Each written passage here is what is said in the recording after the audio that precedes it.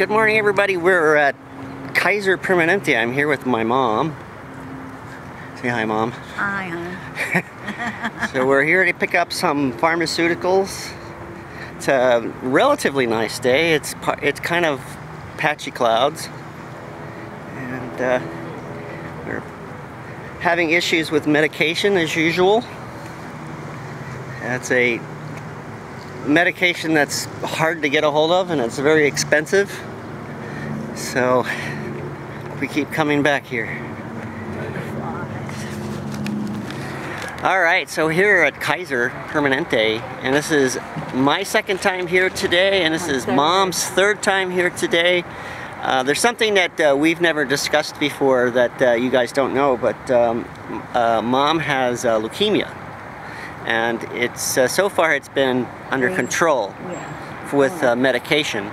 However, as some of you don't already know, anytime there's a, uh, uh a medication for a life-threatening uh, illness, uh, pharmacies manage to figure out a way to absolutely gouge you. So, yeah. So um, she's on a, a, a medication called Gleevec and uh, we've been trying to get a hold of this medication since last Thursday. And they didn't have any. Finally, we managed to get a hold of four tablets. And that's about a $1,000 worth of, uh, of medication. Yeah. So, to just give you an idea. So, and, um, you know, mom has been helping us out, and she has been dealing with this. And this is kind of devastating right now. We've been uh, mom's on a fixed income and she spends about $2,000 a month on the medication. Yeah, yeah. Um, the, um, her uh, insurance doesn't kick in until after $4,500, right? My copay, yeah. So, and it uh, starts in January, which is what really th throws everybody into a stew. And I know that some of the people at my church uh, that are my age and a little bit younger that have severe disease and need pills to keep them going had the same thing happen. You know, you go and you think, well, I have this covered. I transferred money into my checking account and I'm going to pay it with my Visa.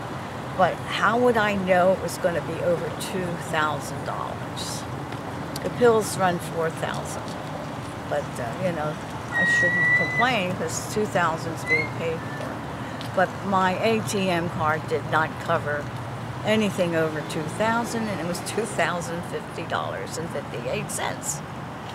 So that threw it into a fund for finance help, which I kept telling them, I don't qualify, I don't qualify. Because I worked 30 years for a school district in the accounting department, which I paid Kaiser. I paid benefits.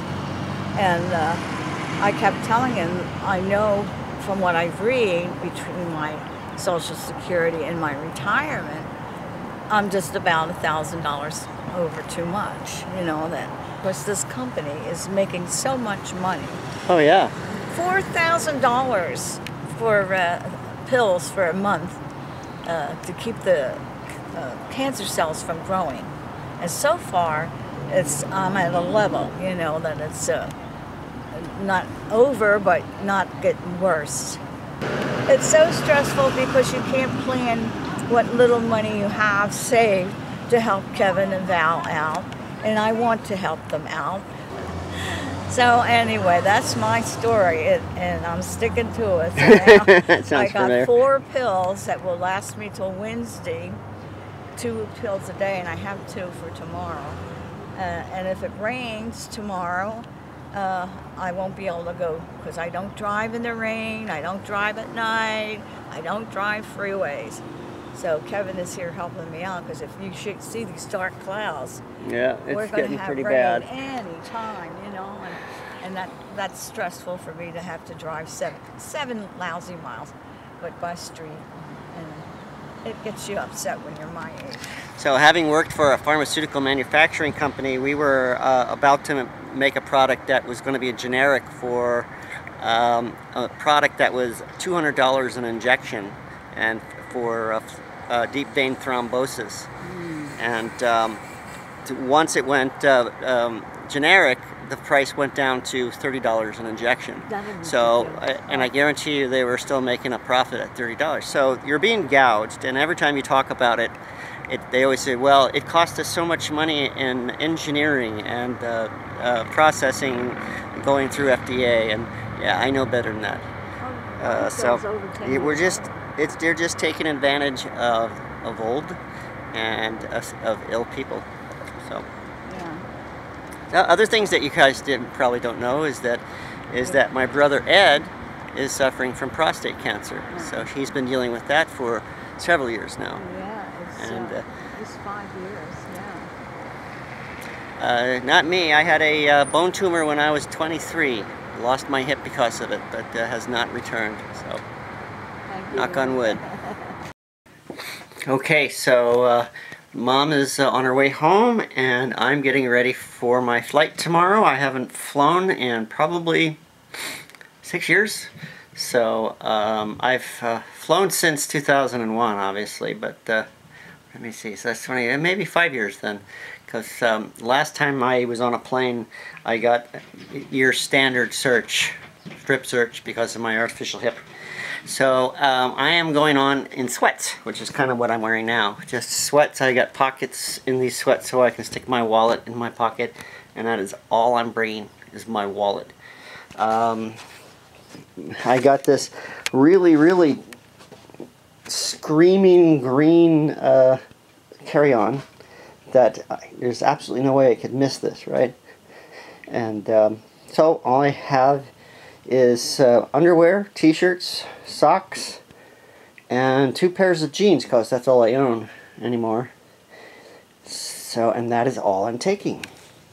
I have uh, a new toothbrush I can throw in there. I'm not going to bring toothpaste because I'm not going to the desert or anything. I'm going to uh, family house.